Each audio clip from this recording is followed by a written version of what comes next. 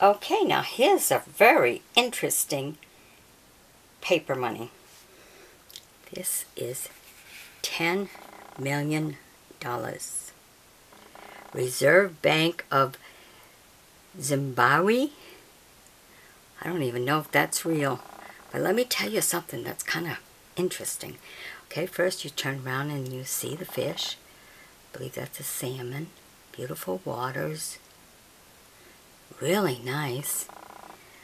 But you know how they can tell whether it's real or not? Look, see how you can see that right here? It says Z, ZBR, if you look at it this way. And see that picture? That's showing right through the paper money because, and you can see the numbers, because when you flip it over, it's not visible to the eyes. Look. It's only visible when you pick it up to the light and you see it. So to me that makes it look more real. Okay, because when you lay it flat, all you see is a nice little design here.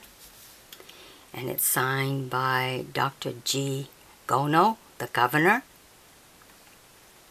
$10 million, Reserve Bank.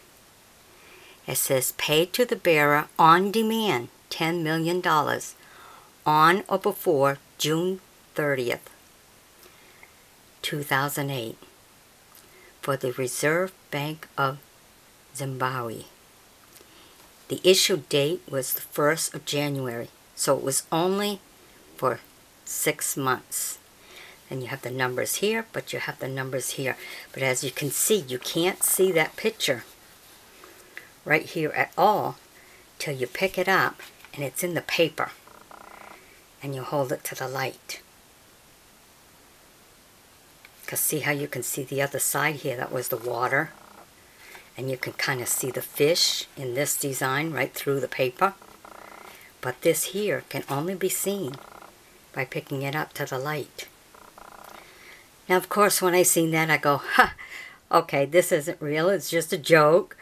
But you know how, how the old saying goes, yep, it's my dumb luck. Well, it's my dumb luck, I done passed the date. or I could be $10 million strong.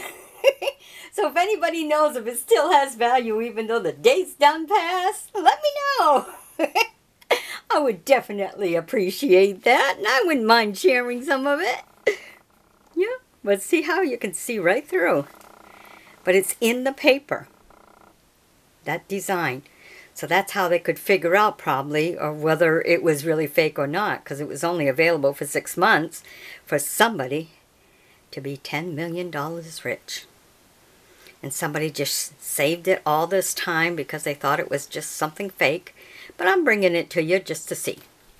But to me to have that, it's in the paper. And it's got its numbers. It's got the governor on there. You never know. So let me know if you know anything about this. Very interesting. Something creative. Something to really dig into. Alrighty. Hope you've enjoyed my bringing it to you. Isn't that cool? Wow.